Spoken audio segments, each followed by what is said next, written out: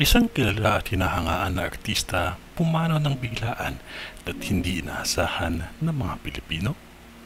Yan ang ating alamin sa video na ito. Sa isang nakakagulat na kaganapan, nagluluksa ngayon ang buong industriya sa pagpanaw ng isang kilala at minamahal na aktres na si Jacqueline Jose. Wala pang detalye sa pagpanaw ng multi-awarded actress na ito kahapon, March 3, 2024 at siya ay 59 taong kulang nung siya ay pumanaw.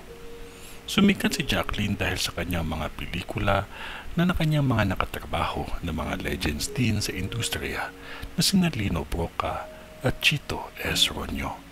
At nanalo ito bilang Best Actress sa Cannes Film Festival noong 2016 dahil sa kanyang pagganap sa obra ni Brillante Mendoza na Ma Rosa.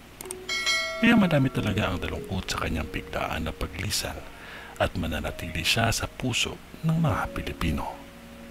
Sa lahat po ng bubuo ng Propesya TV, kami po ay nakikiramay sa pamilya ng namatayan.